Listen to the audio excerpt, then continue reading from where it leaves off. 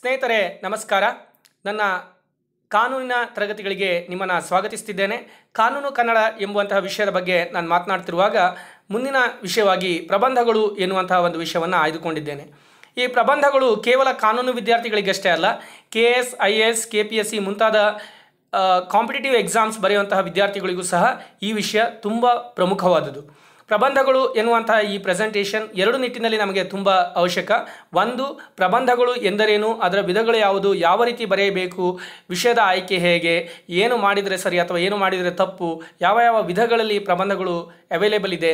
ಎನ್ನುವಂತಹ ವಿಷಯದ ನಾಲೆಜ್ ನಿಮಗೆ ಸಿಗುತ್ತದೆ. ಅದೇ ರೀತಿ ಯಾವುದೋ ಒಂದು ವಿಷಯದ ಬಗ್ಗೆ ನಿಮಗೆ ಪ್ರಬಂಧ ಬರೆಯಲು ಹೇಳಿ, ಹೇಳಿದರೆ, ಯಾವ ರೀತಿ ಅದನ್ನು ಸ್ಟ್ರಕ್ಚರೈಸ್ ಆಗಿ ಕನ್ವರ್ಟ್ ಮಾಡಬೇಕು ಎನ್ನುವುದರ ಬಗ್ಗೆ ಸಹ ಈ ಒಂದು ಪ್ರೆಸೆಂಟೇಷನ್ ಮುಗಿಯುವಾಗ ನಿಮಗೆ ಒಂದು ಐಡಿಯಾ ಸಿಗುತ್ತದೆ ಅಥವಾ ಮಾಹಿತಿ ಸಿಗುತ್ತದೆ ಎನ್ನುವುದು ನನ್ನ ಉದ್ದೇಶ. ಹೆಚ್ಚಿನ ಸಮಯವನ್ನು ವ್ಯಯಿಸದೆ ಮೊದಲಿಗೆ ಅರ್ಥ ಮಾಡಿಕೊಳ್ಳೋಣ. ಒಂದು ಪ್ರಬಂಧ ಎಂದರೇನು ಎನ್ನುವಂತಹ ಒಂದು ವಿಷಯವನ್ನು ಅರ್ಥ ಮಾಡಿಕೊಳ್ಳುತ್ತಾ ಮುಂದಕ್ಕೆ ಸಾಗೋಣ.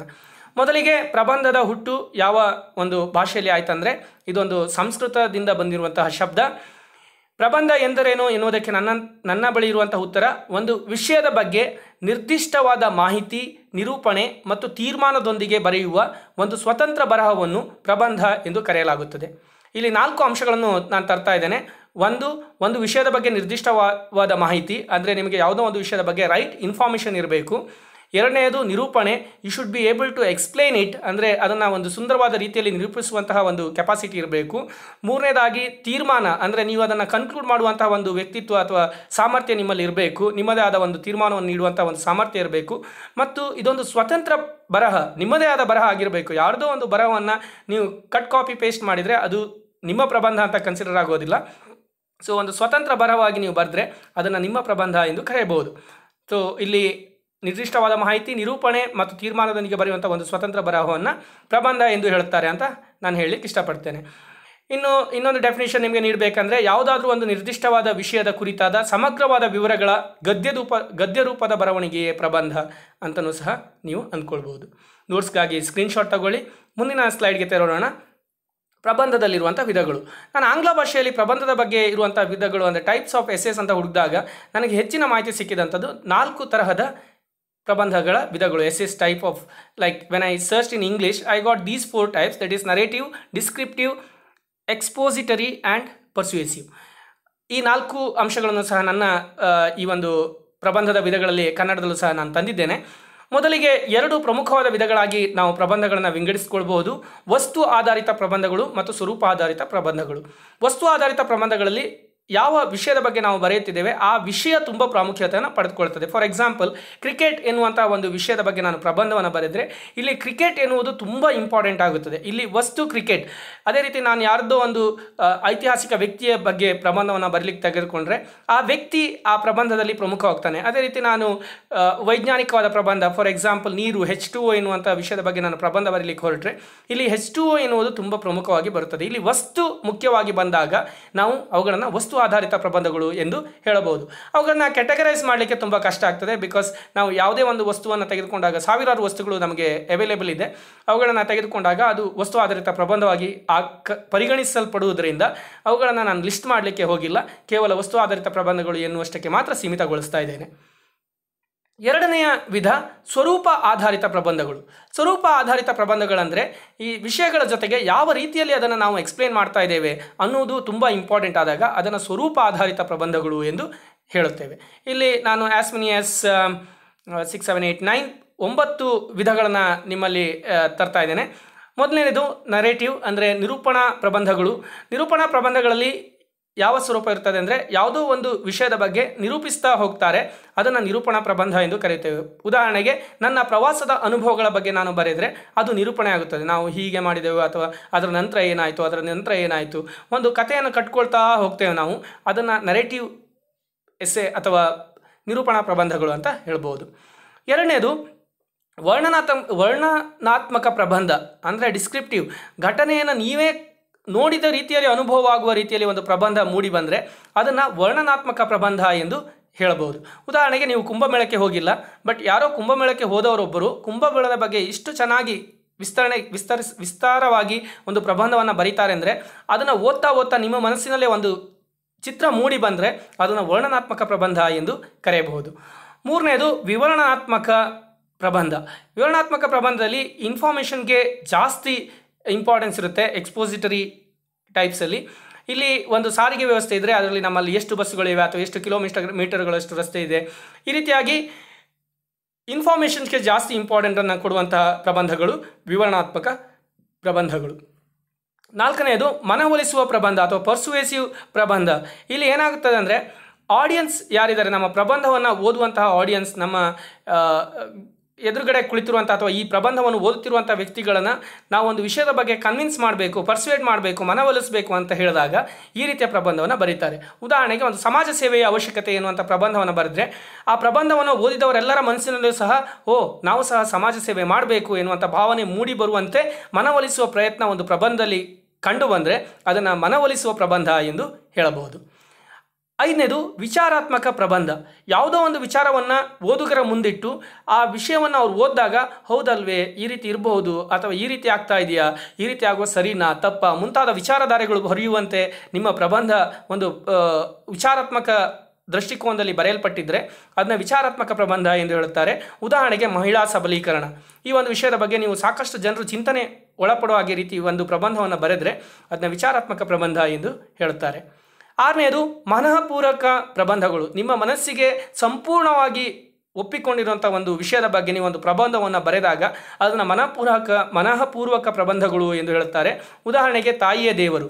ಈ ವಿಷಯದ ಬಗ್ಗೆ ನೀವು ಸಂಪೂರ್ಣವಾಗಿ ನಂಬಿಕೊಂಡು ಬರೆದಾಗ ಅದೊಂದು ಮನಃಪೂರ್ವಕ ಪ್ರಬಂಧವಾಗಿ ಮೂಡಿಬರ್ತದೆ ನಿಮ್ಮ ಪ್ರಬಂಧವನ್ನು ಓದುವಾಗ ಎದುರಿಗಿರುವ ವ್ಯಕ್ತಿಗೆ ಖಂಡಿತವಾಗಲೂ ಗೊತ್ತಾಗುತ್ತದೆ this person whoever is writing is completely convinced that ತಾಯಿಯೇ ದೇವರು ಎನ್ನುವಂಥ ವಿಷಯ ಅವರಿಗೆ ಕನ್ವಿನ್ಸ್ ಆಗಿಬಿಟ್ಟು ಬರೆದಿದ್ದಾನೆ ಎನ್ನುವಂಥ ಅಂಶ ಅವರಿಗೂ ಸಹ ಕಾಣಸಿಗುತ್ತದೆ. ಇಂಥವುಗಳನ್ನು ಮನಃಪೂರ್ವಕ ಪ್ರಬಂಧಗಳು ಎಂದು ಹೇಳುತ್ತಾರೆ.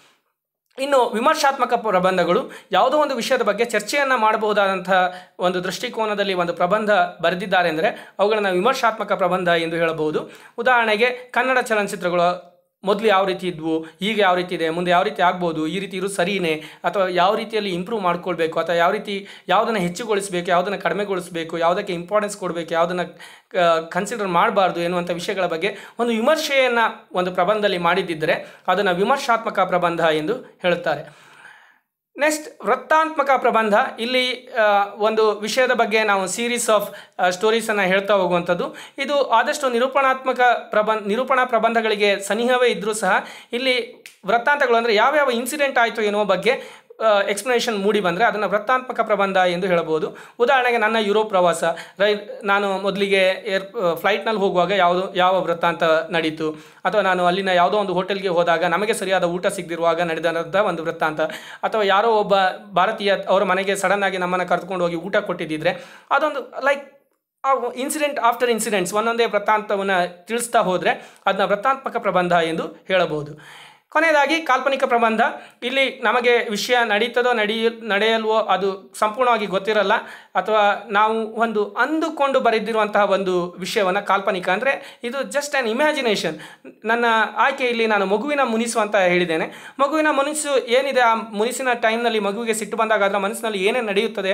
ಇದ್ರ ಬಗ್ಗೆ ಯಾರಿಗೂ ಸ್ಪಷ್ಟವಾದ ಮಾಹಿತಿ ಇಲ್ಲ. ಯಾಕಂದರೆ ಒಂದು ಮಗುವಿನ ಮನಸ್ಸು ನಮಗೆ ಅಸೆಸ್ ಮಾಡಲಿಕ್ಕೆ ಆಗದಿರುವಂತಹ ಒಂದು ಸ್ಟೇಟಸ್ ಸೊ ಅದರ ಬಗ್ಗೆ ನಾನು ಮಗುವಿಗೆ ಮುನಿಸು ಬಂದಾಗ ಅದು ಈ ರೀತಿ ಆಲೋಚನೆ ಮಾಡ್ತು, ಆ ರೀತಿ ಆಲೋಚನೆ ಮಾಡ್ತು ಅಥವಾ ಮಾಡ್ತದೆ ಎನ್ನುವಂಥ ವಿಷಯದ ಬಗ್ಗೆ ನಾನೊಂದು ಪ್ರಬಂಧವನ್ನು ಬರೆದ್ರೆ, ಅದು that's only my imagination it's not true that it is that ಅದೇ ಒಂದು ಸ್ಟೇಟಸ್ ಇದೆ ಅಂತ ಹೇಳಲಿಕ್ಕೆ ಪ್ರೂವ್ ಮಾಡಲಿಕ್ಕೆ ಆಗದಿರುವಂತಹ ಒಂದು ಸಬ್ಜೆಕ್ಟ್ ಬಟ್ ಅದರ ಬಗ್ಗೆ ನನ್ನ ಕಲ್ಪನೆಗಳನ್ನು ನಾನು ಬರಿತಾ ಹೋದರೆ, ಅವುಗಳನ್ನು ಕಾಲ್ಪನಿಕ ಪ್ರಬಂಧ ಎಂದು ಕರೆಯುತ್ತಾರೆ. ಸೊ ನಿರೂಪಣಾ ಪ್ರಬಂಧ, ವರ್ಣನಾತ್ಮಕ ಪ್ರಬಂಧ, ವಿವರಣಾತ್ಮಕ ಪ್ರಬಂಧ, ಮನವೊಲಿಸುವ ಪ್ರಬಂಧ, ವಿಚಾರಾತ್ಮಕ ಪ್ರಬಂಧ, ಮನಃಪೂರ್ವಕವಾದ ಪ್ರಬಂಧಗಳು, ವಿಮರ್ಶಾತ್ಮಕ ಪ್ರಬಂಧ, ವೃತ್ತಾತ್ಮಕ ಪ್ರಬಂಧ ಮತ್ತು ಕಾಲ್ಪನಿಕ ಪ್ರಬಂಧ ಈ ಒಂಬತ್ತು ವಿಧಗಳಲ್ಲಿ ನಿಮಗೆ ಸುಲಭವಾಗಿ ಯಾವುದೋ ಒಂದು ನಾಲ್ಕೈದನ್ನು ನೆನಪಿಟ್ಕೊಂಡ್ರೆ, ಪ್ರಾಯಶಃ ನಿಮ್ಮ ಎಕ್ಸಾಮ್ ಹಾಲ್ನಲ್ಲಿ ನಿಮಗೆ ನೆರವಾಗ್ಬೋದು. ಈ ಪ್ರಶ್ನೆ ಖಂಡಿತವಾಗಲೂ ಹತ್ತು ಅಂಕದ ಪ್ರಶ್ನೆ. ನಿಮಗೆ ಪ್ರಬಂಧ ಬಗ್ಗೆ ಬರೆಯಲಿ ಹೇಳ್ತಾರೆ ಪ್ಲಸ್ ಒಂದು ಸಬ್ಜೆಕ್ಟನ್ನು ಕೊಟ್ಬಿಟ್ಟು ಅದರ ಮೇಲೆ ಪ್ರಬಂಧ ಬರೀಲಿಕ್ಕೆ, ಹೇಳಲಿಕ್ಕೆ ಹೇಳುವಂಥ ಅವಕಾಶಗಳಿರೋದ್ರಿಂದ ಹತ್ತು ಅಂಕದ ಪ್ರಶ್ನೆಯಾಗಿ ಬರುತ್ತದೆ. ಖಂಡಿತವಾಗಲೂ ನೀವು ಸಾಕಷ್ಟು ವಿವರ ಪ್ರಬಂಧಗಳ ಬಗ್ಗೆ ಬರೆದು ನಂತರ ಪ್ರಬಂಧಕ್ಕೆ ತೆರಳಬೇಕಾಗ್ತದೆ. ಮುಂದೆ ಸಾಗೋಣ. ಪ್ರಬಂಧದ ರಚನೆಗೆ ಮುನ್ನ ಗಮನಿಸಬೇಕಾದಂತಹ ಅಂಶಗಳು. ಒಂದು ಪ್ರಬಂಧವನ್ನು ನಾವು ರಚಿಸಬೇಕಂದ್ರೆ ಅದಕ್ಕಿಂತ ಮೊದಲು ಯಾವ್ಯಾವ ವಿಷಯವನ್ನು ಗಮನಿಸಬೇಕು ಎನ್ನುವುದನ್ನು ಇಲ್ಲಿ ನಾನು ಹೇಳಲಿಕ್ಕೆ ಪ್ರಯತ್ನಿಸಿದ್ದೇನೆ. ಒಂದು ವಿಷಯ ಏನು? ಯಾವ ವಿಷಯದ ಬಗ್ಗೆ ನಾವು ಪ್ರಬಂಧವನ್ನು ಬರೀತಿದ್ದೇವೆ ಎನ್ನುವುದನ್ನು ಮೊದಲಿಗೆ ಫೈನಲೈಸ್ ಮಾಡ್ಕೊಳ್ಬೇಕು. ಎರಡನೇದು ವ್ಯಾಪ್ತಿ ಎಷ್ಟು? ನಮ್ಮ ಸ್ಕೋಪ್ ಎಷ್ಟಿದೆ ಈ ಒಂದು ಪ್ರಬಂಧದಲ್ಲಿ ಎನ್ನುವುದನ್ನು ನಾವು ಖಂಡಿತವಾಗ್ಲೂ ಮೊದಲಿಗೆ ಅರ್ಥಕೊಳ್ಬೇಕು ಸೊ ಇಲ್ಲಿ ವ್ಯಾಪ್ತಿ ಎಷ್ಟು ಎನ್ನುವುದರ ಬಗ್ಗೆ ನಮಗೆ ಖಂಡಿತವಾಗ್ಲೂ ಗೊತ್ತಿರಬೇಕು. ಇಲ್ಲಾಂದರೆ ಏನಾಗ್ತದೆ? ನಾವು ಎಲ್ಲೋ ಶುರು ಮಾಡಿಬಿಟ್ಟು ಎಲ್ಲೋ ಪ್ರಬಂಧವನ್ನು ಮುಗಿಸಿದ್ರೆ ಅದು ಒಂದು ಮೀನಿಂಗ್ಲೆಸ್ ಪ್ರಬಂಧ ಆಗ್ತದೆ. ನಾವು ಕೊನೆಗೆ ನಾವೇ ನೋಡಿದಾಗ, ಓ, ನಾನು ಏನು ಬರೀಲಿಕ್ಕೆ ಹೊರಟಿದ್ದೆ ಅಥವಾ ಎಲ್ಲಿ ನಾನು ಎಂಡಾದೆ ಎನ್ನುವುದ್ರ ಬಗ್ಗೆ ನಮಗೆ ಕನ್ಫ್ಯೂಷನ್ ಬರಿ, ಬರೋದಕ್ಕೆ ಸಾಧ್ಯತೆಗಳಿದೆ. ಒಂದನೇದು ವಿಷಯ ಎರಡನೇದು ವ್ಯಾಪ್ತಿ ದಟ್ ಇಸ್ ಸ್ಕೋಪ್ ವಿಷಯ ಇಸ್ ಸಬ್ಜೆಕ್ಟ್ ವ್ಯಾಪ್ತಿ ಸ್ಕೋಪ್ ನೆಕ್ಸ್ಟ್ ಯಾರಿಗೆ ಬರೆಯುತ್ತಿದ್ದೇವೆ? ಈ ಒಂದು ಪ್ರಬಂಧದ ಆಡಿಯನ್ಸ್ ಯಾರು ಎನ್ನುವುದು ಬಗ್, ಎನ್ನುವುದರ ಬಗ್ಗೆ ಸಹ ನಮಗೆ ಖಂಡಿತವಾಗ್ಲೂ ಮನವರಿಕೆ ಇರಬೇಕು. ಉದಾಹರಣೆಗೆ ನಾವು ಯಾವುದೋ ಒಂದು ಫಾರ್ ಎಕ್ಸಾಂಪಲ್ ಯಾವುದೋ ಒಂದು ನ್ಯೂಸ್ ಪೇಪರ್ ಕನ್ನಡ ನ್ಯೂಸ್ ಪೇಪರ್ನ ಆದಿತ್ಯವಾರದ ಒಂದು ರವಿವಾರ ಅಥವಾ ಭಾನುವಾರದ ಒಂದು ಪಾಕ್ಷಿಕ ವಿಭಾಗಕ್ಕೆ ಲೈಕ್ ಮಕ್ಕಳಿಗಾಗಿ ಬರೆಯುವಂಥ ಒಂದು ಅಂಕಣದಲ್ಲಿ ಒಂದು ಪ್ರಬಂಧವನ್ನು ಬರಿತಿದ್ದೇವೆ ಅಂತ ಹೇಳಿದರೆ, ಅಲ್ಲಿ ನಾವು ಸಾವಿರಾರು ಡೇಟಾಗಳನ್ನು ಹಾಕಿ ಒಂದು ಪ್ರಬಂಧವನ್ನು ಬಂದರೆ ಖಂಡಿತವಾಗಲೂ ಮಕ್ಕಳಿಗೆ ಇಷ್ಟ ಆಗಲ್ಲ. ನೀವು ಯಾವ ರೀತಿಯಲ್ಲಿ ನಿರೂಪಣೆಯನ್ನು ಮಾಡ್ತೀರಾ, ಅದು ಮಕ್ಕಳಿಗೆ ಇಷ್ಟ ಆಗುವ ರೀತಿಯಲ್ಲಿ ಇದ್ದರೆ ಆಗ ಮಾತ್ರ ಅವರು ಆ ಪ್ರಬಂಧವನ್ನು ಓದಲಿಕ್ಕೆ ಇಷ್ಟಪಡ್ತಾರೆ. ಸೊ ನಾವು ಯಾರಿಗೆ ಬರೀತಾ ಇದ್ದೇವೆ audience is very important audience knowledge ನಮಗೆ ಇಲ್ಲ ಅಂತ ಹೇಳಿದರೆ ಖಂಡಿತವಾಗಲೂ ನಮ್ಮ ಪ್ರಬಂಧವನ್ನು ಯಾರೂ ಓದಲಿಕ್ಕೆ ಇಷ್ಟಪಡೋದಿಲ್ಲ.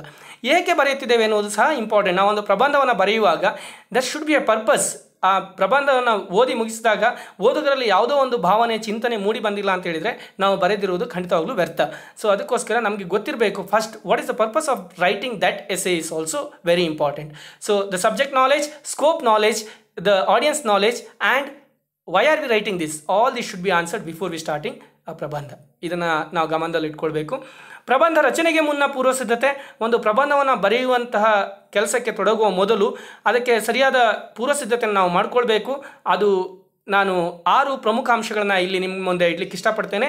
ಒಂದು ಮುಖ್ಯಾಂಶಗಳ ಪಟ್ಟಿ, ನಾವು ಬರೆಯುವಂಥ ಪ್ರಬಂಧದಲ್ಲಿ ಯಾವ ಯಾವ ಅಂಶಗಳನ್ನು ನಾವು ಡಿಸ್ಕಸ್ ಮಾಡ್ತಿದ್ದೇವೆ ಅನ್ನೋದ್ರ ಬಗ್ಗೆ ಒಂದು ಸಂಪೂರ್ಣ ದೃಷ್ಟಿ ಪಟ್ಟಿಯನ್ನು ಮಾಡ್ಕೊಳ್ಬೇಕು ನಾವು.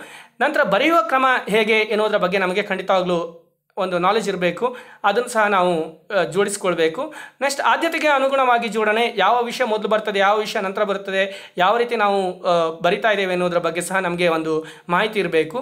ಪೂರಕವಾದ ಮಾಹಿತಿಗಳ ಜೋಡಣೆ, ಆ ಸಬ್ಜೆಕ್ಟಿಗೆ ಸಂಬಂಧಪಟ್ಟಂಥ ಇತರ ಮಾಹಿತಿಗಳನ್ನು ನಾವು ಪ್ರಬಂಧವನ್ನು ಆರಂಭಿಸುವ ಮೊದಲೇ ರೆಡಿ ಮಾಡಿ ಇಟ್ಕೊಂಡಿರಬೇಕು. ಆಸಕ್ತಿಕರ ಮಾಹಿತಿಗಳು ತುಂಬ ಇಂಪಾರ್ಟೆಂಟ್ ಒಂದು ಪ್ರಬಂಧ ನಾವು ಕಣ್ ಕಂಟಿನ್ಯೂ ಆಗಿ ಬರ್ಕೊಂಡು ಹೋಗಿಬಿಟ್ರೆ ಆಗೇನಾಗುತ್ತೆ ಓದುಗರಿಗೆ ಆಸಕ್ತಿ ಬರೋದಿಲ್ಲ.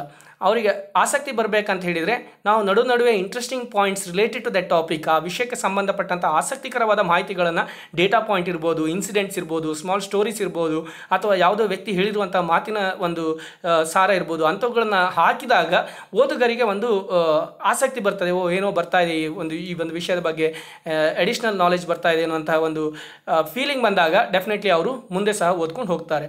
ಕೊನೆಯದಾಗಿ ವಿಷಯದ ತಜ್ಞರಿಂದ ಮಾರ್ಗದರ್ಶನ, ನೀವು ಯಾವುದೋ ಒಂದು ವಿಷಯದ ಬಗ್ಗೆ ಬರಿತಾ ಇದ್ದೀರಾ?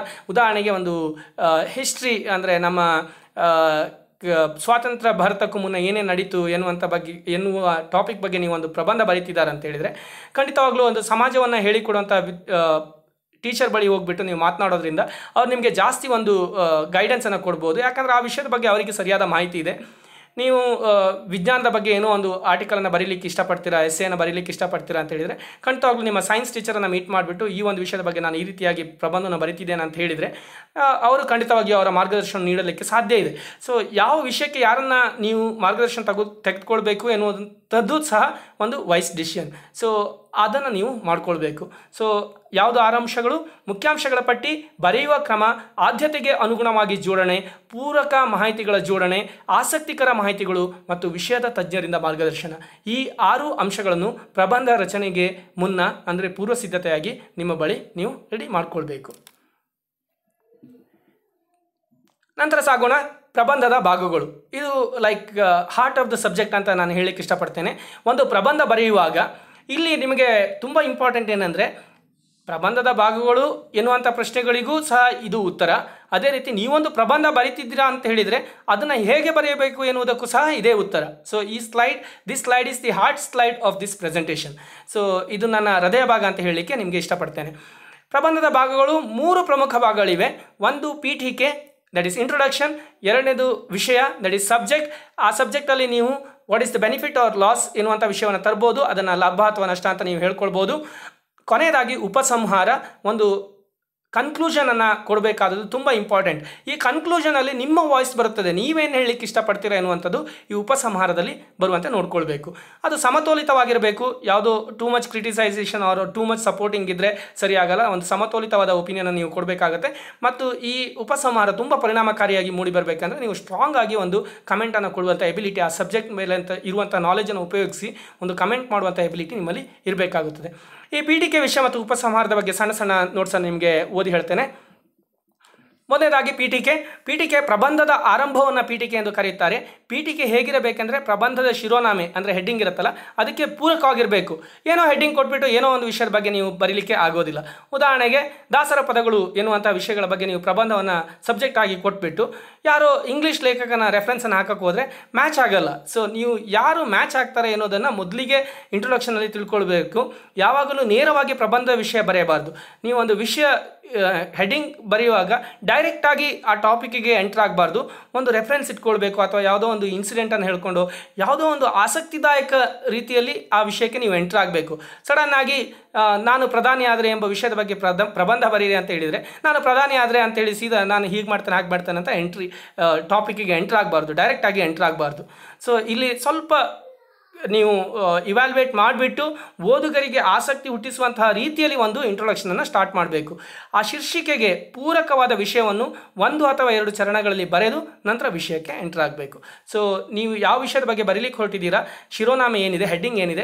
ಅದಕ್ಕೆ ಪೂರಕವಾಗಿ ಒಂದು ಅಥವಾ ಎರಡು ಚರಣಗಳಲ್ಲಿ ಡೈರೆಕ್ಟಾಗಿ ವಿಷಯಕ್ಕೆ ಎಂಟರ್ ಆಗದೆ ಒಂದು ಇಮ್ಯಾಜಿನೇಟ್ರಿ ಅಥವಾ ಎಲ್ಲಿಂದನೋ ತಂದಿರುವಂಥ ಸ್ಟೋರಿ ಅಥವಾ ಯಾರೋ ಹೇಳಿರುವಂಥ ವಾಕ್ಯ ಈ ರೀತಿ ಹಲವಾರು ಟೆಕ್ನಿಕ್ಗಳಲ್ಲಿ ನಿಮ್ಮ ಪೀಠಿಕೆಯನ್ನು ನೀವು ಶುರು ಮಾಡ್ಬೋದು.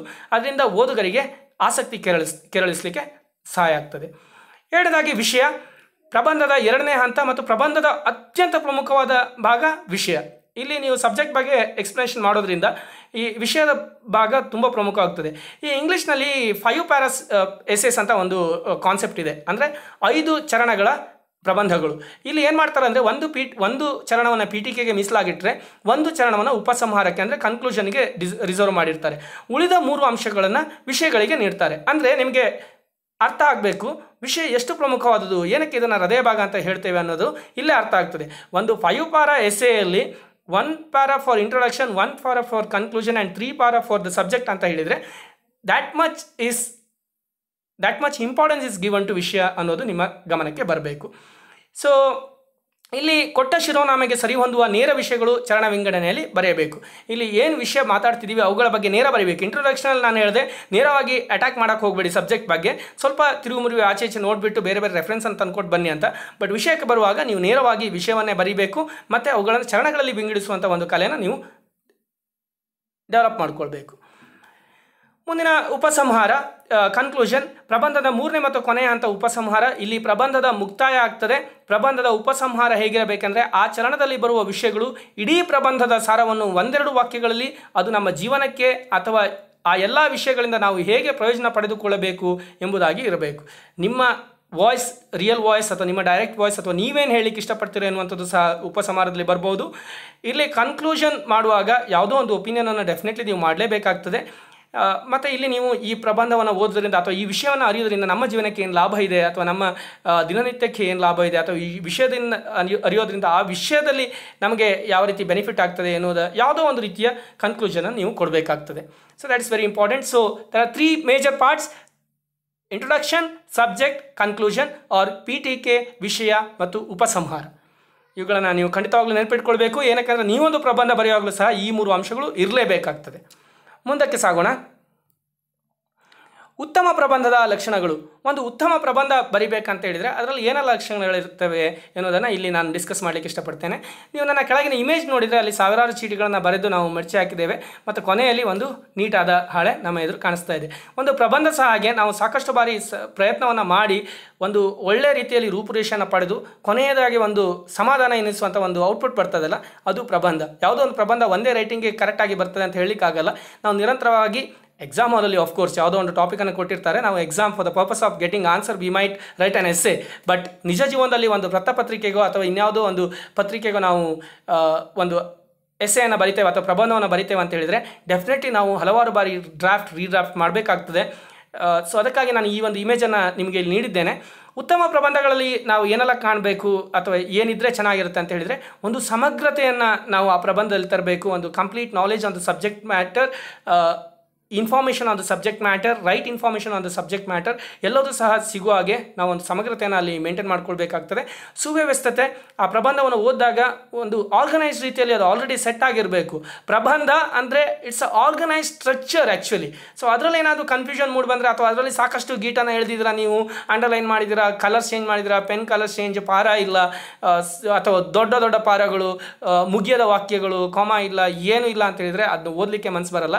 ಪ್ರಬಂಧಗಳು ಎಷ್ಟು ನೀಟಾಗಿರ್ತವೆ ಅಷ್ಟು ಓದಲಿಕ್ಕೆ ಖುಷಿ ಪಡ್ತದೆ ಪ್ರಬಂಧ ಹೇಗಿರಬೇಕಂತ ಹೇಳಿದರೆ ಇನ್ನೂ ಓದಬೇಕು ಇನ್ನೂ ಓದಬೇಕು ಅಂತ ಅನಿಸ್ತಿರುವಾಗ ಮುಗ್ದೋಗಿರಬೇಕು. ಆ ರೀತಿ ನಾವು ವ್ಯವಸ್ಥಿತವಾಗಿ ಪ್ರಬಂಧವನ್ನು ಬರಿಬೇಕು. ಖಚಿತತೆ ಇರಬೇಕು, ಒಂದು ವಿಷಯದ ಬಗ್ಗೆ ಪ್ರಬಂಧ ಬರಿತೇವೆ ಅಂತ ಹೇಳಿದರೆ ಡೆಫಿನೆಟ್ಲಿ ಆ ವಿಷಯದ ಬಗ್ಗೆ ನಮಗೆ ಸಫಿಷಿಯಂಟ್ ನಾಲೆಜ್ ಇರಬೇಕು. ಮತ್ತು ನಾವು ಹೇಳ್ತಿರುವಂಥ ವಿಷಯಗಳು ಸತ್ಯ ಎನ್ನುವ ಖಚಿತತೆ ನಮ್ಮಲ್ಲಿ ಇರಬೇಕು. ನಮಗೆ ಡೌಟ್ ಇದ್ದರೆ ಡೆಫಿನೆಟ್ಲಿ ನಾವು ಸ್ಟ್ರಾಂಗ್ ವಾಯ್ಸಲ್ಲಿ ಆ ಪ್ರಬಂಧವನ್ನು ಬರೀಲಿಕ್ಕೆ ಆಗಲ್ಲ ಮತ್ತು ಅದು ಖಂಡಿತವಾಗ್ಲೂ ನಮ್ಮ ಓದುಗರನ್ನು ರೀಚ್ ಆಗಲ್ಲ. ಶುದ್ಧ ಭಾಷಾ ಪ್ರಯೋಗ ಒಂದು ಪ್ರಬಂಧವನ್ನು ಬರೆಯುವಾಗ ನಮ್ಮ ಲ್ಯಾಂಗ್ವೇಜ್ ನೀಟ್ ಕ್ಲೀನ್ ಆಗಿರಬೇಕು. ಸೊ ನಮಗೆ ಭಾಷೆಯನ್ನು ನಾವು ಯಾವ ಭಾಷೆಯಲ್ಲಿ ನಾವು ಪ್ರಬಂಧವನ್ನು ಬರೀತಿದ್ದೇವೆ, ಆ ಭಾಷೆಯ ನಮ್ಮ ಒಂದು ಸಂಪೂರ್ಣ ಜ್ಞಾನ ನಮ್ಮಲ್ಲಿ ಇರಬೇಕು. ಇಲ್ಲವಾದಲ್ಲಿ ಆ ಪ್ರಬಂಧ ಚೆನ್ನಾಗಿ ಮೂಡಿ ಬರಲ್ಲ.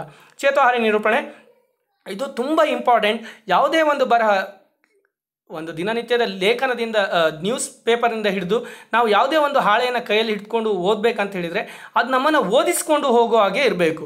ಇನ್ನು ಪ್ರಬಂಧ ಎನ್ನುವಂಥದ್ದು ಓದಲಿಕ್ಕಾಗಿ ಬರೆದಿರುವಂಥ ಒಂದು ಗದ್ಯ ರೂಪದ ಭಾಗ. ಸೊ ಆದ್ದರಿಂದ ನಮ್ಮ ಚೇತೋಹಾರಿ ನಿರೂಪಣೆ ಇಲ್ಲಿ ತುಂಬ ಇಂಪಾರ್ಟೆಂಟ್ ಇನ್ನು ಕೆಲವಷ್ಟು ಅಂಶಗಳನ್ನು ನಾನು ಕೆಳಗಡೆ ಕೊಟ್ಟಿದ್ದೇನೆ. ಪ್ರಬಂಧ ಬರೆಯುವಾಗ ಪ್ರತಿ ವಿಷಯವನ್ನು ಚರಣ ಚರಣಗಳಲ್ಲೇ ಬರೀಬೇಕು. ಅದರ ಈ ಪಾರ ಎನ್ನುವಂಥದ್ದು ತುಂಬ ಇಂಪಾರ್ಟೆಂಟ್ ಪ್ರಬಂಧ ಬರೆಯುವಾಗ. ದೊಡ್ಡ ದೊಡ್ಡ ಪಾರಗಳನ್ನು ಅಥವಾ ತುಂಬ ಚಿಕ್ಕವಾದ ಪಾರಗಳನ್ನು ಮಾಡೋದ್ರಿಂದ ಪ್ರಬಂಧ ಚೆನ್ನಾಗಿ ಕಾಣಿಸಲ್ಲ.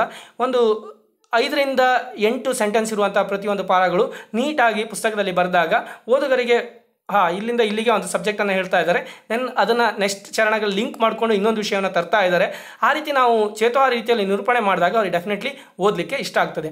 ಪ್ರಬಂಧ ಬರವಣಿಗೆ ಅರ್ಥಗರ್ಭಿತವಾಗಿ, ಸೂಕ್ತವಾಗಿ, ಸ್ಪಷ್ಟವಾಗಿ ಇರಬೇಕಂತ ಇದ್ದರೆ ಅದಕ್ಕೆ ನಾವೇನು ಮಾಡಬೇಕು? ಲೇಖನ ಚಿಹ್ನೆಗಳನ್ನು ಸೂಕ್ತ ಸಂದರ್ಭಗಳಲ್ಲಿ ಬಳಸಿಕೊಳ್ಬೇಕು ನಾವು ಒಂದು ವಾಕ್ಯದಲ್ಲಿ ಒಂದು ಇಪ್ಪತ್ತು ವರ್ಡನ್ನು ಹಾಕಿಬಿಟ್ಟು ಒಂದು ದೊಡ್ಡದಾದ ವಾಕ್ಯವನ್ನು ಮಾಡಿದರೆ ಖಂಡಿತವಾಗಲೂ ಅದು ಓದುಗರಿಗೆ ಅಷ್ಟು ಆಸಕ್ತಿಯನ್ನು ತರಲ್ಲ.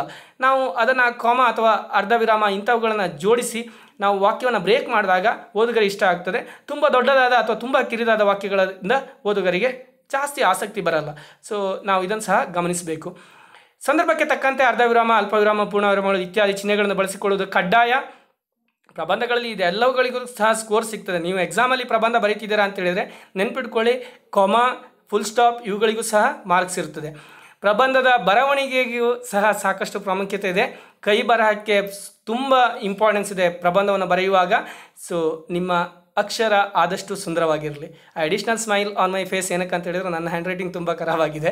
So I don't know how many marks I have lost while writing essays but if you want a score in ಪ್ರಬಂಧ ನಿಮ್ಮ ಹಸ್ತಾಕ್ಷರದ ಗುಣಮಟ್ಟ ಖಂಡಿತವಾಗಲೂ ಉತ್ತಮವಾಗಿರಬೇಕು. ಆಗ ಮಾತ್ರ ನಿಮಗೆ ಪ್ರಬಂಧದಲ್ಲಿ ಉತ್ತಮ ಅಂಕಗಳನ್ನು ಗಳಿಸಲಿಕ್ಕೆ ಸಾಧ್ಯತೆ ಇದೆ. ಪ್ರಬಂಧಗಳಲ್ಲಿ ಡೂಸ್ ಆ್ಯಂಡ್ ಡೋಂಟ್ಸ್ ಸರಿ ಮತ್ತು ತಪ್ಪುಗಳು ಏನು ಮಾಡಬೇಕು ಅಥವಾ ಏನು ಮಾಡಬಾರ್ದು? ಕ್ವಿಕ್ಕಾಗಿ ನಿಮ್ಮನ್ನು ಕರೆದುಕೊಂಡು ಹೋಗ್ತೇನೆ. ಸರಿ, ಮೊದಲಿಗೆ ನಿಮಗೆ ಸುಲಭವಾಗಿ ವಿವಿಧ ಶೈಲಿಗಳಲ್ಲಿ ಬರೆಯಲು ಸಾಧ್ಯವಿರುವ ಪ್ರಬಂಧದ ವಿಷಯವನ್ನು ಆಯ್ಕೆ ಮಾಡಿಕೊಳ್ಳಿ. ಇನ್ ಕೇಸ್ ನೀವು if you want write many essays ತುಂಬ ಪ್ರಬಂಧಗಳನ್ನು ಬರೆಯುವಂಥ ಒಂದು ಯಾವುದಾದ್ರೂ ಯೋಚನೆ ಇದ್ದಲ್ಲಿ, ಖಂಡಿತವಾಗ್ಲೂ ಮೊದಲು ನಿಮಗೆ ಸುಲಭವಾದ, ನಿಮಗೆ ಜಾಸ್ತಿ ನಾಲೆಜ್ ಇರುವಂತಹ, ಮತ್ತು ನಿಮಗೆ ಸರಿಯಾದ ಶೈಲಿಯಲ್ಲಿ ಬರೀಲಿಕ್ಕೆ ಆಗುವಂಥ ಶೈಲಿಯನ್ನು ಉಪಯೋಗಿಸಿಕೊಂಡು ಪ್ರಬಂಧ ಬರೀಲಿಕ್ಕೆ ಸ್ಟಾರ್ಟ್ ಮಾಡಿ. ಪೂರ್ವ ಸಿದ್ಧತೆಗಾಗಿ ನಿಮಗೆ ಸಮಂಜಸವೆನಿಸುವ ರೀತಿಯಲ್ಲಿ ಒಂದು ಹಾಳೆಯ ಮೇಲೆ ವಿಷಯಗಳನ್ನು ನಮೂದಿಸ್ಕೊಳ್ಳಿ. ಒಂದು ಪ್ರಿಪ್ರೇಷನ್ ಆಗಿಬಿಟ್ಟು, ಆ ವಿಷಯದ ಬಗ್ಗೆ ರಿಸರ್ಚ್ ಮಾಡುವಾಗ ನಿಮಗೆ ಯಾವ ಯಾವ ಇನ್ಫಾರ್ಮೇಷನ್ ಸಿಗ್ತದೆ ಅದನ್ನು ಒಂದು ಹಾಳೆಯಲ್ಲಿ ಬರ್ತ್ಕೊಳ್ಳೋ ಬರ್ತ್ಕೊಳ್ತಾ ಹೋಗಬೇಕು. For example whenever I do a presentation like ಯೂಟ್ಯೂಬಲ್ಲಿ ಈ ರೀತಿ ಪ್ರೆಸೆಂಟೇಷನ್ ಮಾಡುವಾಗ ನಾನು ಸಹ ಸಾಕಷ್ಟು ರಿಸರ್ಚ್ ಮಾಡ್ತೇನೆ ಮತ್ತು ಒಂದಷ್ಟು ಸ್ನೇಹಿತರ ಹತ್ರ ಮಾತಾಡ್ತೇನೆ. ಫಾರ್ ಎಕ್ಸಾಂಪಲ್ ಈ ವಿಷಯವನ್ನು ಮಾತಾಡುವಾಗ ನನ್ನದೇ ನನ್ನ ಅಕ್ಕ ಸಹ ಟೀಚರ್ ಆಗಿಬಿಟ್ಟು she is teaching Kannada so ಅವ್ರ ಜೊತೆ ನಾನು ಕಾಂಟ್ಯಾಕ್ಟ್ ಮಾಡಿಬಿಟ್ಟು ನಿರಂತರವಾಗಿ ಈ ವಿಷಯ ಬಗ್ಗೆ ವಿಷಯದ ಬಗ್ಗೆ ಡಿಸ್ಕಸ್ ಮಾಡಿದಾಗ ಒಂದಷ್ಟು ವಿಷಯಗಳು ನನಗೆ ಸಿಕ್ತು. ಅದನ್ನ ನಾನು ಸ್ಟ್ರಕ್ಚರೈಸ್ ಆಗಿಬಿಟ್ಟು ನಿಮ್ಮ ಮುಂದೆ ತರ್ತಾ ಇದ್ದೇನೆ. ಸೊ ಆ ರೀತಿಯ preparation is very important if it is important for a presentation remember for an essay it is very very important because for an essay that is hard of it so ನಿಮ್ಮ ಸಿದ್ಧತೆಯನ್ನು ಒಂದು ಹಾಳೆಯಲ್ಲಿ ನೀಟಾಗಿ note ಮಾಡ್ಕೊಳ್ಳಿ, ಮತ್ತು ಅದನ್ನು prepare ಮಾಡ್ಕೊಳ್ಳಿ. ಮೂರನೇದಾಗಿ, ಅವಶ್ಯವಿರುವ ಸ್ಥಳಗಳಲ್ಲಿ ಆಕರ್ಷಕ ನುಡಿಗಟ್ಟುಗಳನ್ನು ಬಳಸಿ ಯಾವುದಾದ್ರೂ ನುಡಿಕಟ್ಟುಗಳು ಅಥವಾ ಗಾದೆಗಳು ಅಥವಾ ಇನ್ನಾವುದೋ ಇಂಟ್ರೆಸ್ಟಿಂಗ್ ಪಾಠನ ನಿಮ್ಮ ಎಸೆಯಲ್ಲಿ ತರಲಿಕ್ಕಾಗ್ತದೆ ಅಂತ ಹೇಳಿದರೆ ಒಂದು ರೈಟ್ ಪ್ಲೇಸಲ್ಲಿ ಅದನ್ನು ತಂದುಬಿಟ್ಟು ಓದುಗರಿಗೆ ಆಸಕ್ತಿಯನ್ನು ಕೆರಳಿಸಿ. It should be in right place for example like ನಾವು ಒಂದು ಮೂವಿಯನ್ನು ನೋಡ್ತಾ ಇರ್ತೇವೆ ಹೀರೋ ಹೀರೋ ಎಂಟ್ರ್ ಆಗ್ತಾನೆ, ಒಂದಿಷ್ಟು ವಿಲನ್ಗಳನ್ನ ಹೊಡಿತಾರೆ ಮುಖಿತರವಾಗಿ ಒಂದು ಹಾಡು ಬಂದುಬಿಡುತ್ತೆ. So you get uncomfortable like ಏನಕ್ಕಪ್ಪ ಈ ಹಾಡು ಈಗ ಬಂತು ಅಂತ. ಆ ರೀತಿ ಇರಬಾರ್ದು. ನೀವು ಯಾವಾಗ ಆಕರ್ಷಕ ನುಡಿಗಳನ್ನು ತರ್ತೀರಾ ಆ ಓದುಗರಿಗೆ ಅನಿಸ್ಬೇಕು, ವಾವ್ ದಿಸ್ ಇಸ್ ಲೈಕ್ ಬೇಕಿತ್ತು, ಈ ಟೈಮಲ್ಲಿ ಇದು ಬೇಕಿತ್ತು, ಮತ್ತು ಇದೇ ಸರಿಯಾದ ಟೈಮ್ನಲ್ಲಿ ಇದನ್ನು ತಂದಿದ್ದಾರೆ ಅಂತ ಒಂದು ಗುಡ್ ಫೀಲ್ ಬರುವ ಹಾಗೆ ನಿಮ್ಮ ಪ್ರಬಂಧ ಇರಬೇಕು.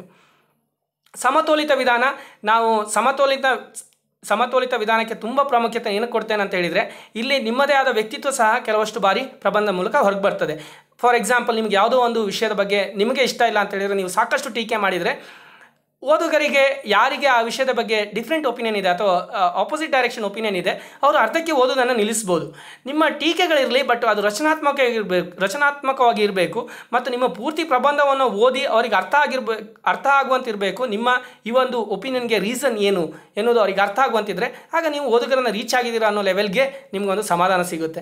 ಅದನ್ನು ಬಿಟ್ಬಿಟ್ಟು ನೀವು ಮನಸ್ಸಿಗೆ ಬಂದ ಹಾಗೆ ಟೀಕೆಗಳನ್ನು ಮಾಡಿದಾಗ, ಓದುಗ ಅರ್ಧಕ್ಕೆ ಸ್ಟಾಪ್ ಮಾಡ್ತಾನೆ, ಮತ್ತು ನಿಮ್ಮ ಡೈರೆಕ್ಷನ್ ಅಂದರೆ ಇಂಟೆನ್ಷನ್ ಅವರಿಗೆ ಅರ್ಥ ಆಗೋದಿಲ್ಲ. ಸಮಸ್ಯೆಗೆ ನಿಮ್ಮದೇ ಆದ ಯಾವುದಾದ್ರು ಪರಿಹಾರವಿದ್ದಲ್ಲಿ ಅದನ್ನು ಸೂಚಿಸಿ. ಖಂಡಿತವಾಗ್ಲೂ ಕನ್ಕ್ಲೂಷನ್ ಪಾರ್ಟಲ್ಲಿ ನೀವು ನಿಮ್ಮದೇ ಆದ ಒಪಿನಿಯನನ್ನು ಕೊಡೋದು ತುಂಬ ಇಂಪಾರ್ಟೆಂಟ್ ನಿಮ್ಮ ಒಂದು ಒಪಿನಿಯನ್ ಮೇಕಿಂಗ್ ಎಬಿಲಿಟಿ ಇದೆಯಲ್ಲ, ಅದು ಕನ್ಕ್ಲೂಷನ್ ಪಾರ್ಟಲ್ಲಿ ಡೆಫಿನೆಟ್ಲಿ ಕಂಡು ಬರಬೇಕು. ಆ strong opinion in a beautiful essay is like ಚಿಂದಿ ಉಡಾಯಿಸ್ಬಿಟ್ರು ಅಂತ ಹೇಳ್ತಾರಲ್ಲ, ಆ ರೀತಿ ಕನ್ಕ್ಲೂಷನ್ ಇಸ್ ತುಂಬ ಇಂಪಾರ್ಟೆಂಟ್ ಅದನ್ನು ನೀವು ಪ್ಲ್ಯಾನ್ ಮಾಡ್ಕೊಳ್ಬೇಕು ಮತ್ತು ಅಲ್ಲಿ ನಿಮ್ಮ ಒಪಿನಿಯನ್ ತರೋದಕ್ಕೆ ಪ್ರಯತ್ನಿಸಬೇಕು. ನಾನು ಕನ್ಕ್ಲೂಷನಲ್ಲೇ ನಿಮ್ಮ ಒಪಿನಿಯನ್ ಕೊಡಬೇಕಂದ್ರೆ ರಿಸ್ಟ್ರಿಕ್ಷನ್ ಮಾಡ್ತಾ ಇಲ್ಲ ಬಟ್ ಅಲ್ಲಿ ನೀವು ಸ್ಟ್ರಾಂಗ್ ಆಗಿ ನಿಮ್ಮ ಒಪಿನಿಯನನ್ನು ಕೊಡ್ಲಿಕ್ಕೆ ಸಾಧ್ಯ ಇದೆ. ನಡು ನಡುವೆ ನಿಮ್ಮ ಒಪಿನಿಯನನ್ನು ಖಂಡಿತವಾಗ್ಲೂ ತರಬಹುದು ಅದಕ್ಕೆ ಯಾವುದೇ ರೀತಿ ಅಡ್ಡಿ ಇಲ್ಲ. ಬಹುಮುಖಿ ಆಗಿರಲಿ, ಒಂದು ಎಸ್ಸೆಯನ್ನು ನೀವು ಸಾಕಷ್ಟು ಆ್ಯಂಗಲಲ್ಲಿ ನೋಡೋದಕ್ಕೆ ಪ್ರಯತ್ನ ಪಡಿ.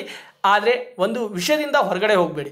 ಒಂದು ವಿಷಯಕ್ಕೆ ಸಂಬಂಧಪಟ್ಟಂತೆ ಬಹಳಷ್ಟು ಆ್ಯಂಗಲ್ ಇರೋದು ಡಿಫ್ರೆಂಟ್ ಮತ್ತು ಒಂದು ವಿಷಯದಿಂದ ಹೊರಗೆ ಹೋಗಿ ಸಾಕಷ್ಟು ವಿಷಯವನ್ನು ನೋಡೋದು ಡಿಫ್ರೆಂಟ್ ನೀವು ಕ್ರಿಕೆಟ್ ಬಗ್ಗೆ ಬರೀತಿದ್ದೀರಾ, ಗಂಗೂಲಿ ಬಗ್ಗೆ ಬರೀರಿ, ಕೊಹ್ಲಿ ಬಗ್ಗೆ ಬರೀರಿ, ಸಚಿನ್ ಬಗ್ಗೆ ಬರೀರಿ that is okay different angles but cricket ಬರೆಯ ಬಗ್ಗೆ ಬರೀತಿರುವಾಗ ನೀವು ಫುಟ್ಬಾಲ್ ಬಾಸ್ಕೆಟ್ಬಾಲ್ ವಾಲಿಬಾಲ್ ಎಲ್ಲದನ್ನು ತಗೊಂಡು ಬಂದರೆ ಖಂಡಿತವಾಗ್ಲೂ ಓದುಗರಿಗೆ ಕನ್ಫ್ಯೂಷನ್ ಆಗಿಬಿಡುತ್ತೆ. ಸೊ ಬಹುಮುಖಿ ಆಗಿರಲಿ ಬಟ್ ವಿದಿನ್ ಸಬ್ಜೆಕ್ಟ್ ಇರಬೇಕು ದಟ್ ಇಸ್ ವೆರಿ ಇಂಪಾರ್ಟೆಂಟ್ ಮುಖ್ಯವಾದ ವಿಷಯಗಳಿಗೆ ಅಡಿಗೆರೆ ಹಾಕಿ I don't know I have a confusion on this ಕೆಲವರು ಹೇಳ್ತಾರೆ ಅಡಿಗೆರೆ ಹಾಕಬೇಕು, ಕೆಲವರು ಹೇಳ್ತಾರೆ ಅಡಿಗೆರೆ ಹಾಕಬಾರ್ದು. But if you ask me my suggestion would be don't put any underline or other stuffs pen colour change ಮಾಡುವಂಥದ್ದು, ಅಡಿಗೆರೆ ಹಾಕುವಂಥದ್ದನ್ನು ನಾನು ತುಂಬ ಸ್ಟ್ರಾಂಗಾಗಿ ಸಜೆಸ್ಟ್ ಮಾಡಲ್ಲ. ಬಟ್ ಅಲ್ಲಿ ಓದಿದಾಗ ಅಡಿಗೆರೆ ಹಾಕೋದು ಸಹ ಒಂದು ಟೆಕ್ನಿಕ್ ಅಂತ ಹೇಳಿದ್ದಾರೆ. ಪ್ರಾಯಶಃ for the purpose of exam you can use this technique if you have something ತುಂಬ ಸುಂದರವಾದ ನುಡಿಗಟ್ಟನ್ನು ನೀವು ತರ್ತಾ ಇದ್ದೀರಾ, ಅದನ್ನು ಖಂಡಿತವಾಗ್ಲೂ ಇವ್ಯಾಲ್ಯೂಯೇಟರ್ ಓದಲೇಬೇಕಂತಿದ್ರೆ ನೀವು ಅಡಿಗಟ್ ಅಡಿಗೆರೆಯನ್ನು ಹಾಕ್ಬೋದು. ಬಟ್ ನ್ಯೂಸ್ ಪೇಪರ್ ಅಥವಾ ಬೇರೆ ಯಾವುದೇ ಅಂಕಣದಲ್ಲಿ ಬರುವಂಥ ಪ್ರಬಂಧಗಳಲ್ಲಿ ಖಂಡಿತವಾಗ್ಲೂ ಅಡಿಗೆರೆ ಇರಲ್ಲ. ಅದು ಪ್ರಾಕ್ಟೀಸ್ ಸಹ ಅಲ್ಲ. ಸೊ ಇದು ನಿಮ್ಮ ಅಂಕವನ್ನು ಗಳಿಸುವ ರೀತಿಗೆ ಮಾತ್ರ ಈ ಸಜೆಷನನ್ನು ನೀವು ಬಳಸ್ಕೊಳ್ಬೋದು. ಚರಣಗಳನ್ನು ಮಾಡಿ ಮತ್ತು ಚರಣಗಳ ನಡುವೆ ಸಂಬಂಧ ಇರಲಿ. Para creation is very important when it comes to ಪ್ರಬಂಧ. ಸೊ ಪಾರ ಪಾರ ಆಗಿ ನೀವು ಕನ್ವರ್ಟ್ ಮಾಡುವಂಥ ಎಬಿಲಿಟಿ ಇರಬೇಕು. ಒಂದು ಪಾರದಲ್ಲಿ ಐದರಿಂದ ಎಂಟು ವಾಕ್ಯಗಳಿದ್ದರೆ ಚೆನ್ನ. ತುಂಬ ಅತಿಯಾದ ವಾಕ್ಯಗಳು ಅಥವಾ ತುಂಬ ಕಡಿಮೆ ವಾಕ್ಯಗಳು, ಪಾರಗಳನ್ನು ಸುಂದರಗೊಳಿಸಲ್ಲ. ಸೊ ಮೀನಿಂಗ್ಫುಲ್ ನಂಬರ್ ಆಫ್ ಸೆಂಟೆನ್ಸನ್ನು ಹಾಕ್ಕೊಂಡ್ಬಿಟ್ಟು ಪಾರ ಮಾಡ್ಕೊಳ್ತಾ ಹೋಗಿ. ಮತ್ತು ಒಂದು ಪಾರ ಒಂದು ಚರಣಕ್ಕೂ ಮತ್ತು ಇನ್ನೊಂದು ಚರಣಕ್ಕೂ ಖಂಡಿತವಾಗ್ಲೂ ಸಂಬಂಧವನ್ನು ಬೆಳೆಸ್ಕೊಂಡು ಹೋಗಬೇಕು. ಯಾವುದೋ ಒಂದು ಚರಣದಲ್ಲಿ ಒಂದು ವಿಷಯವನ್ನು ಬ, ಮಾತಾಡಿಬಿಟ್ಟು ನಂತರ ಇನ್ನೊಂದು ಚರಣದಲ್ಲಿ ಸಂಪೂರ್ಣ ಸಂಬಂಧವಿಲ್ಲದ ವಿಷಯ ಮಾತಾಡಿದರೆ ಓದುಗರಿಗೆ ಲಿಂಕ್ ಮಾಡೋದಕ್ಕಾಗಲ್ಲ. ಸೊ, ನಿಮ್ಮ ಪ್ರಬಂಧ ಅಲ್ಲಿ ಫೇಲ್ ಆಗ್ತದೆ. ಆಗದೇ ನೋಡ್ಕೊಳ್ಳಿ. ಸಾಮಾನ್ಯ ಮನುಷ್ಯನು ಸಹ ಅರ್ಥ ಮಾಡಿಕೊಳ್ಳುವಂತ ಇರಬೇಕು. Like we have some politicians speak like ಅವರ ಲ್ಯಾಂಗ್ವೇಜ್ ನಮ್ಗೆ ಅರ್ಥನೇ ಆಗಲ್ಲ. ನಾನು ಯಾರ ಬಗ್ಗೆ ಮಾತಾಡ್ತೀನಿ ಅಂತ ನಿಮ್ಗೆ ಆಲ್ರೆಡಿ ಗೊತ್ತಾಗಿರ್ಬೋದು. ಅವ್ರು ಮಾತಾಡಿದಾಗ ನೀವು ಡಿಕ್ಷನರಿ ಹಿಡ್ಕೊಂಡು ಮೀನಿಂಗ್ ಹುಡುಕ್ಬೇಕಾಗ್ತದೆ ಅಂಥ ಒಂದು ಪರಿಸ್ಥಿತಿ ಇರುವವರು ಪ್ರಬಂಧ ಬರೆದ್ರೆ ಖಂಡಿತವಾಗ್ಲೂ ನಾವು ಓದಕ್ಕೆ ಹೋಗಲ್ಲ, ಯಾಕಂದ್ರೆ ನಮ್ಗೆ ಅರ್ಥ ಆಗಲ್ಲ, ಬಿಟ್ಬಿಡಪ್ಪ ಅಂತ ಬಿಟ್ಬಿಡ್ತೇವೆ. ಆ ರೀತಿ ಆಗಬಾರ್ದು. ನಿಮ್ಮ ಪ್ರಬಂಧ ಎಲ್ಲರನ್ನ ರೀಚ್ ಆಗುವಂಥ ಎಬಿಲಿಟಿ ಇರಬೇಕು. ಆದರೆ ಕೆಲವೊಂದು ವಿಮರ್ಶಾತ್ಮಕ subject like if it is oriented towards someone then okay ಆ ಕಮ್ಯುನಿಟಿಗೆ ಅರ್ಥ ಆಗುವಂತಹ ಒಂದು ಭಾಷೆನ ಬಳಸ್ಕೊಳ್ಳಿ. But on a general public ನೀವು ಬರೆದಿದ್ರೆ ತುಂಬ ಸುಲಭವಾದ ರೀತಿಯಲ್ಲಿ ಈಸಿಯಾಗಿ ಅರ್ಥ ಮಾಡ್ಕೊಳ್ಳುವಂಥ ರೀತಿಯಲ್ಲಿ ಒಂದು ಪ್ರಬಂಧನ ಫಾರ್ ಮಾಡಿ. ಸಂಪೂರ್ಣತೆ ಇರಬೇಕು ಅರ್ಧಂಬರ್ಧ ವಿಷಯವನ್ನು ಹೇಳಿಬಿಟ್ಟು ಕ್ಲೋಸ್ ಮಾಡಬೇಡಿ. ಒಂದು ವಿಷಯದ ಬಗ್ಗೆ ಸಂಪೂರ್ಣವಾದ ಅರಿವನ್ನು ನೀಡೋದಕ್ಕೆ ಒಂದು ಪ್ರಬಂಧದಲ್ಲಿ ಪ್ರಯತ್ನ ಪಡಿ ತುಂಬ ದೊಡ್ಡದಾದ ಒಂದು ವಿಷಯವನ್ನು ತಗೊಂಡ್ಬಿಟ್ಟು ನಾನು ಪ್ರಬಂಧ ಬರೀಲಿಕ್ಕೆ ಹೋಗ್ತೇನೆ ಅಂತ ಹೇಳಿದರೆ ಕೆಲವಷ್ಟು ಪಾರಿ ನಗೆ ಪಾಟ್ಲಿಗೆ ಈಡಾಗ್ತೇವೆ. ಯಾಕಂದರೆ ಅದ್ರ ಬಗ್ಗೆ ನಮಗೆ ಪೂರ್ತಿ ಬರೆಯೋದಕ್ಕೂ ಆಗಲ್ಲ, ಮಧ್ಯೆ ಬಿಡೋದಕ್ಕೂ ಆಗಲ್ಲ. ಆ ರೀತಿಯ ಪರಿಸ್ಥಿತಿ ಬರ್ತದೆ. ಒಂದು ತುಂಬವಾದ ದೊಡ್ಡ ವಿಷಯದಲ್ಲಿ ಸಣ್ಣವಾದ ಒಂದು ವಿಷಯವನ್ನು ಆಯ್ಕೆ ಮಾಡಿಕೊಂಡು ಅದ್ರ ಬಗ್ಗೆ ನೀವು ತುಂಬ ಚೆನ್ನಾಗಿ ಬರೀತೀರಾ ಅಂತ ಹೇಳಿದ್ರು ಸಹ ಅದೊಂದು ಒಳ್ಳೆ ರೀತಿಯ ಆಲೋಚನೆ ಅಂತಲೇ ಹೇಳ್ತೇನೆ. ಓಕೆ ಸರಿ ಭಾಗವನ್ನು ನಾವು ತಿಳ್ಕೊಂಡೆವು. ಈಗ ಏನು ತಪ್ಪು ಎನ್ನುವುದರ ಬಗ್ಗೆ ತಿಳಿದುಕೊಳ್ಳೋದಕ್ಕೆ ಪ್ರಯತ್ನಿಸೋಣ. ಒಂದು, ಅವಶ್ಯಕತೆಗಿಂತ ಹೆಚ್ಚು ಬರೆಯಬೇಡಿ.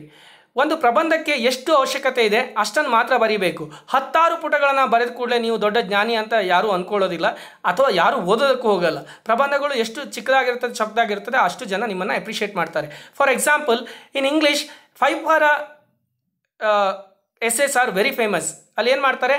ಒಂದು ಪಾರ ಇಂಟ್ರೊಡಕ್ಷನ್ ಮೂರು ಪಾರ ಸಬ್ಜೆಕ್ಟ್ ಮತ್ತು ಕೊನೆಯ ಪಾರ ಕನ್ಕ್ಲೂಷನ್ ಇರ್ತದೆ. ಅಂದರೆ ಒಂದು ಪಾರ ಪಿ ಟಿ ಕೆ ಮೂರು ಪಾಠ, ಮೂರು ಚರಣಗಳು ವಿಷಯದ ಬಗ್ಗೆ ಮತ್ತು ಕೊನೆಯ ಒಂದು ಚರಣ ಉಪಸಂಹಾರದ ಬಗ್ಗೆ ಇರ್ತದೆ. ಸೊ ಕೇವಲ ಐದೇ ಪಾರದಲ್ಲಿ ಒಂದು ಪ್ರಬಂಧವನ್ನು ಬರೆಯುವಂಥ ಚಾಲೆಂಜನ್ನು ಇಂಗ್ಲೀಷ್ ಅವ್ರು ನೋಡ್ತಾರೆ ಅಂತ ಹೇಳಿದರೆ, ನಾವು ಸಹ ಆದಷ್ಟು ಕಡಿಮೆ ಚರಣಗಳಲ್ಲಿ ಒಂದು ಸುಂದರವಾದ ಪ್ರಬಂಧವನ್ನು ಬರೆಯುವ ಪ್ರಯತ್ನ ಮಾಡಬೇಕು ಹೊರತು ಅನಗತ್ಯವಾಗಿ ಸಾವಿರಾರು ಪುಟಗಳನ್ನು ಬರೆಯೋದ್ರಲ್ಲಿ ಯಾವುದೇ ಮೀನಿಂಗ್ ಇಲ್ಲ. ನೆಕ್ಸ್ಟ್ ಯಾವುದೇ ಉಪಶೀರ್ಷಿಕೆ ಬೇಡ. ಪ್ರಬಂಧವನ್ನು ಬರೆಯುವಾಗ ಈ ಮೂರು ಉಪಶಿಷಿಗಳು ತುಂಬ ಮುಖ್ಯ. ಅದನ್ನ ಬಿಟ್ಬಿಟ್ಟು ನಾವು ತುಂಬ ಅನಗತ್ಯ ಉಪಶಿಷಿಗಳನ್ನು ಹಾಕುವ ಪ್ರಯತ್ನವನ್ನು ಪ್ರಬಂಧದಲ್ಲಿ ಮಾಡಬಾರ್ದು. ಬುಲೆಟ್ ಪಾಯಿಂಟ್ ಯೂಸ್ ಮಾಡಬಾರ್ದು. ಬೇರೆಯವರ ಮಾಹಿತಿಗಳನ್ನು ಬರೆಯುವಾಗ ಸರಿಯಾದ ಮಾಹಿತಿ ಇದ್ದಲ್ಲಿ ಮಾತ್ರ ಬರೀಬೇಕು. ಯಾರೋ ಏನನ್ನು ಹೇಳ್ತಾರೆ, ಅವ್ರು ಹೀಗೆ ಹೇಳ್ತಾರೆ ಅನ್ನೋದು ನಮ್ಗೆ ಕರೆಕ್ಟಾಗಿ ಗೊತ್ತಿದ್ರೆ ಮಾತ್ರ ಅದನ್ನು ಹೇಳಬೇಕು. ಇಲ್ಲಾಂದರೆ ಆ ಪ್ರಯತ್ನವನ್ನು ಮಾಡಬಾರ್ದು. ಮತ್ತು ಅನಗತ್ಯವಾದ ಅನಗತ್ಯವಾಗಿ ನಿಮ್ಮದೇ ಆದ ಮಾಹಿತಿಯನ್ನು ಬೇರೆಯವ್ರ ಹೆಸರಲ್ಲಿ ಬರೀಬೇಡಿ. ನಿಮ್ಮದು ಒಂದು ಸೆಂಟೆನ್ಸನ್ನು ಬಾರ್ ಮಾಡಿಬಿಟ್ಟು ಅಬ್ದುಲ್ ಕಲಾಂ ಹೀಗೆ ಹೇಳ್ತಾರೆ ಅಂತ ಹೇಳಿಬಿಟ್ಟು ನಿಮ್ಮದೇ ಆದ ಸೆಂಟೆನ್ಸನ್ನು ಹಾಕಿದರೆ ಖಂಡಿತವಾಗ್ಲೂ ಅದು ಅಸಮಂಜಸ. ಆ ರೀತಿ ಪ್ರಯತ್ನವನ್ನು ಮಾಡಬೇಡಿ. ಐದನೇದು, ವಿಷಯದ ಚೌಕಟ್ಟಿನಿಂದ ಹೊರಗೆ ಹೋಗಬೇಡಿ. ಯಾವ ವಿಷಯದ ಬಗ್ಗೆ ಮಾತಾಡ್ತೀರಾ, ಆ ವಿಷಯದ ಬಗ್ಗೆ ಫೋಕಸ್ ಆಗಿರಿ. ಅನಗತ್ಯವಾಗಿ ಔಟ್ಸೈಡ್ ಹೋಗಬೇಡಿ. ಈಗಾಗಲೇ ನಾನು ಒಂದೆರಡು, ಮೂರು ಎಕ್ಸಾಂಪಲ್ ಈ ವಿಷಯಕ್ಕೆ ಕೊಟ್ಟಿದ್ದೇನೆ. ನಿಮ್ಮ ವಿಷಯ ಏನಿದೆ, ಅದಕ್ಕೆ ಫೋಕಸ್ಡ್ ಆಗಿರಿ. ಅದರ ಬಗ್ಗೆ ನೀವು ಪ್ರಬಂಧವನ್ನು ಬರೀರಿ. ಶಾರ್ಟ್ ಗಟ್ ಅಥವಾ ಮೊಬೈಲ್ ಲ್ಯಾಂಗ್ವೇಜ್ ಇಂಥದ್ದು ಯಾವುದನ್ನು ಪ್ರಬಂಧದಲ್ಲಿ ಬಳಸಲಿಕ್ಕೆ ಹೋಗಬೇಡಿ. ಮತ್ತು ಅತೀವವಾದ ಟೀಕೆ ಯಾವ ವಿಷಯದ ಬಗ್ಗೆಯೂ ಸಹ ಆರೋಗ್ಯಕರ ಅಲ್ಲ. ಯಾಕಂದರೆ ನಮ್ಮ ಓದುಗರು ಎರಡು ಪಕ್ಷದವರು ಇರ್ಬೋದು. ಕೆಲವರಿಗೆ ನೀವು ಬರೆದಿರುವ ಪ್ರಬಂಧದ ರೀತಿ ಇಷ್ಟ ಆಗ್ಬೋದು. ಇನ್ನು ಕೆಲವರಿಗೆ ಕಂಪ್ಲೀಟ್ ಅಪೋಸಿಟ್ ಡೈರೆಕ್ಷನಲ್ಲಿ ಅದು ಇಷ್ಟ ಇಲ್ಲ ಅನ್ನೋದಕ್ಕಿಂತ ಒಂದು ಸಿಟ್ಟನ್ನು ತರಿಸುವಂತಹ ಅಥವಾ ಬೇಸರಗೊಳಿಸುವಂತಹ ಪ್ರಬಂಧವಾಗಿ ಕನ್ವರ್ಟ್ ಆಗ್ಬೋದು. ಅದಕ್ಕಾಗಿ ನೀವು ಯಾವುದೇ ವಿಷಯದ ಬಗ್ಗೆ ಅತಿವಾದ ಟೀಕೆ, ನಿಮ್ಮ ಪರ್ಸನಲೈಸ್ ಒಪಿನಿಯನ್ ತುಂಬ ಕೊಡಲಿಕ್ಕೆ ಹೋಗಬೇಡಿ. ಕನ್ಕ್ಲೂಷನಲ್ಲಿ ನೀವು ಒಂದು ಒಪಿನಿಯನನ್ನು ಖಂಡಿತವಾಗ್ಲೂ ಕೊಡ್ಬೋದು ಬಟ್ ತುಂಬ ಹಾರ್ಶ್ ಆಗಿ ಒಪಿನಿಯನ್ ಕೊಡುವಂಥ ಪ್ರಯತ್ನ ಬೇಡ. ಇಷ್ಟನ್ನು ಹೇಳ್ತಾ ನಾನು ಈ ಒಂದು ಸಬ್ಜೆಕ್ಟ್ಗೆ ಮುಕ್ತಾಯವನ್ನು ಹಾಡ್ತಿದ್ದೇನೆ. ಖಂಡಿತವಾಗ್ಲೂ ಈ ಒಂದು ಸಬ್ಜೆಕ್ಟನ್ನು ಮುಗಿಸೋ ಮೊದಲು ವಿಶೇಷ ವಂದನೆ to my sister Mukambu teacher ಮತ್ತು ಅವರ ಮಗ Prajwal. He ten tenth standard student but this teacher and kid has help me lot on this subject thanking them and ನಿಮಗೆಲ್ಲರಿಗೂ ಸಹ ಎಕ್ಸಾಮ್ಗೆ ಶುಭ ಹಾರೈಸ್ತಾ ನನ್ನ ಚಾನಲನ್ನು ಹೆಚ್ಚು ಹೆಚ್ಚು ನೋಡಿ ಸಬ್ಸ್ಕ್ರೈಬ್ ಮಾಡಿ, ಸ್ನೇಹಿತರಿಗೆ ನನ್ನ ವೀಡಿಯೋಸನ್ನು ಶೇರ್ ಮಾಡಿ, ನನ್ನ ವೀಡಿಯೋಗಳನ್ನು ಲೈಕ್ ಮಾಡಿ ಮತ್ತು ಕಮೆಂಟ್ ಮಾಡಿ ಅಂತ ವಿನಂತಿಸ್ಕೊಳ್ತಾ ಈ ಒಂದು ಸೆಷನನ್ನು ಮುಗಿಸ್ತಾ ಇದ್ದೇನೆ. ನಮಸ್ಕಾರ.